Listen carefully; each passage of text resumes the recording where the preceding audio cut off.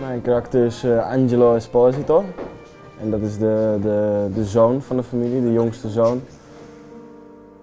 Ik ben, eh, ik ben 17 jaar oud en ik zit nog op school en wil hier naar rechten gaan studeren. Maar eigenlijk wil ik het liefst mijn oom achterna.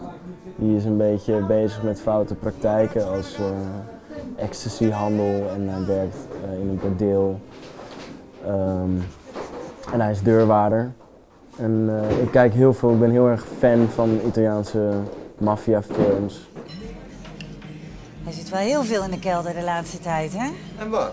En wat? Er zitten je vader en Pasquale. Hassan, waar blijft tafel 8? Ik ben er mee bezig. Je moet niet altijd doen alsof het in de kelder een kinderdagverblijf is. Het is familie. Ja, het is familie, ja. Iets mis met mijn familie? Nee hoor, niks mis mee. En voor in mijn hoofd is, is de, de, de onderwereld net zoals in een film.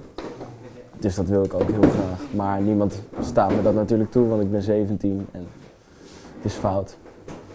Maar ja, ik blijk er wel heel veel verstand van te hebben, omdat ik zoveel films heb gezien.